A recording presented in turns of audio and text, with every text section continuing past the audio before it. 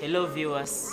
This is Outreach Living Mountains Christian Church, and today on Teen Talk, we are going to talk about what will you do if you find someone cheating on an exam? Will you tell or will you let him cheat? Ukipata msee ana cheat kwa exams, hii ni kitu ya kwanza, usimseme, kwa sababu ukimsema ile harakati ya kwenda kumwambia yenyewe acha kukopi kisha hivi, alafu akuone, alafu la anakuona hata sema ati oh, ni nini unafanyia mwenzako, hataanza kusema ati oh, unafanyia nini mwenzako. Sasa wewe utaanza kusema ati enyewe ticha, mimi nilikuwa na ninamwambia sinya sikopi mtihani, lakini ticha atajua, ataanza kusema oh, kujeni nyinyi kwa wawili. Sasa ubeshte yako hata nini atajitetea na wewe aseme oh, tulikuwa tunaibana yeye. Sasa hiyo kitu inaweza inaweza kuletea hadi pia we shida.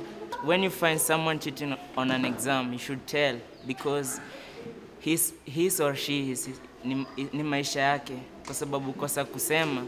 I guess kama umekuwa ukisoma na huyu jamaa hajakuwa akisoma uta, uta, uta get screwed up kwa hiyo kwa maisha yako na uta fail, na ukimwacha a cheat on exam anaweza fail na pia unaweza fail. Okay, to my point is ukipata msee akiba kwa mtihani you should not tell because you never know the background of that that student because anaweza kuwa anasomeshwa na basari then you go on telling the teacher there's some um, kuna consequences za cheating like going to suspension na ukibai vitu all that stuff. So utaleta paro stress. So like ukimpata unamwacha ibe for that time then utakuja umwambie consequences baadaye because hata kama the final judgment ni KCSE hiyo ni maisha yake na the little anakope pia anaweza kuwa na get something. So like utamdiscourage but utaenda kwa mwalimu.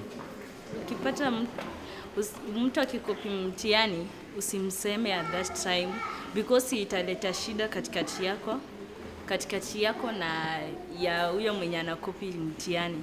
Inaweza enda kuwa chaki kupata ukimwambia, and then mtakuwa in trouble all of you, and then mtaweza ambiwa mwenda mlete wazazi ama mnaweza fukuzwa shule.